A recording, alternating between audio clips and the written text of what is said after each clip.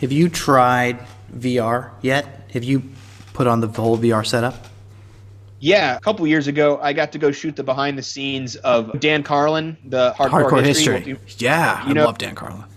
He he consulted with this company who did a VR for his Blueprint to Apocalypse. Um, Whoa, so and- that's the World War One series, right? Yeah.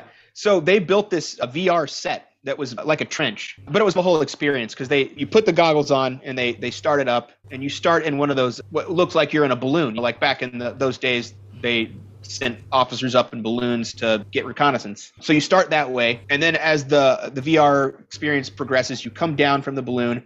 And you instantly go into the trench, and there's haptic feedback on the ground. So when there, there's explosion in your goggles, you feel the ground shaking. And then you you move towards the end of the trench, and there's a charge about to happen. And they all have their gas masks on, and they all charge out and all get mowed down. It's, it's pretty brutal. It was Yeah, I was gonna say pretty depressing.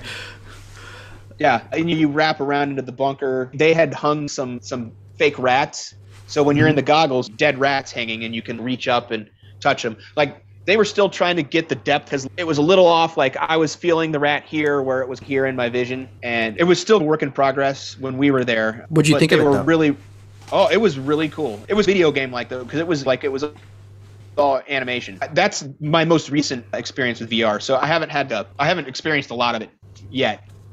But if that was uh, something to go on, then it's really cool, and I'd love to uh, try more of it.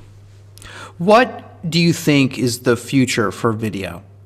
And in the sense of immersive technologies like VR and AR is something important because Apple's rumored AR glasses that may be coming out, the ability mm-hmm. with LiDAR and stuff stuck into our phones and iPads to create AR experiences really easily and accessible. What are the opportunities, especially for people who have trained classically, like you, to get into the space and make cool stuff? I, I know of one guy that I've shot with who who has gone into VR full time as a, a camera operator. I'm not quite sure eh, what he does, but he's involved with setting up the cameras and and acquiring the images that eventually go into probably where VR really happens, which is in the computers. So I think there's probably jobs out there, but I also think I think you're going to see because VR kind of requires a, a level of precision, like I was saying, like reaching out and touching something and having it be in the right depth and all that kind of stuff. I feel like the camera work for that kind of stuff is going to probably be more of a robotic kind of thing. I just don't think you're going to need a, a